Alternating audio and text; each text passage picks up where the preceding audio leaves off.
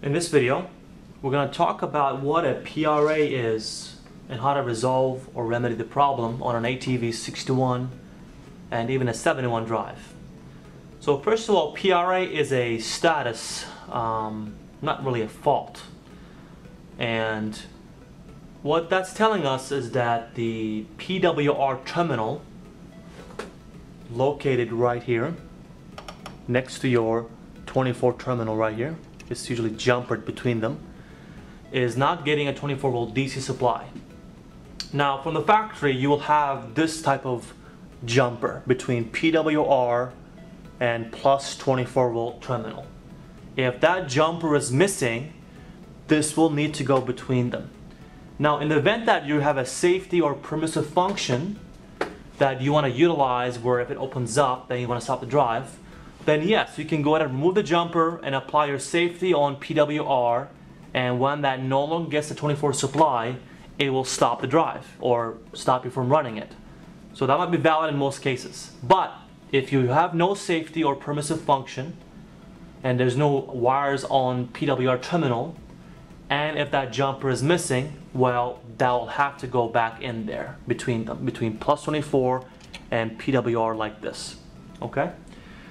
Um, if the jumper's in there, then you gotta start measuring your actual 24 volt terminal, again right here next to PWR, to common and see if you have a missing 24 volt on the drive itself.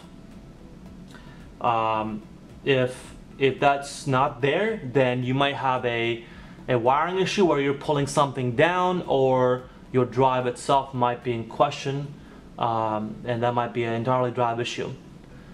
So, um, so again, for our purposes here, again, on the top left, it shows PRA because it's your actual status in real time. If that jumper was in there, which I've taken out, that would have showed ready or run if you're running your motor. So having said that, uh, again, if you're doing any kind of troubleshooting with your wiring, uh, make sure that you abide by all the safety um, that we have presented in our manuals. Uh, make sure you don't touch or work with any live units if you're not properly protected. So for our purposes here, we can go ahead and power the unit down. And let's go ahead and uh, put that jumper between PWR and plus 24 and see if that particular status will go away. Again, these are on the rightmost terminals of your terminal here. Number one and number two going from right to left is the PWR and the plus 24 terminal. So having said that, let's go ahead and put that in there. Okay.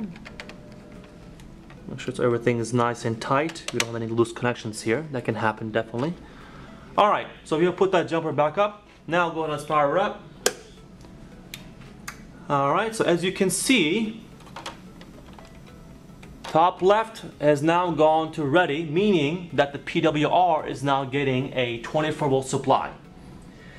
So this is basically how you troubleshoot a PRA status on an ATV 61 and 71 drive. Again, just to recap, uh, make sure PWR is getting a constant 24 supply. Uh, make sure nothing is pulling down the power off the drive. Maybe you're bringing your own wire to these terminals. Maybe there's a short or grounding that could be happening, causing 24 to drop.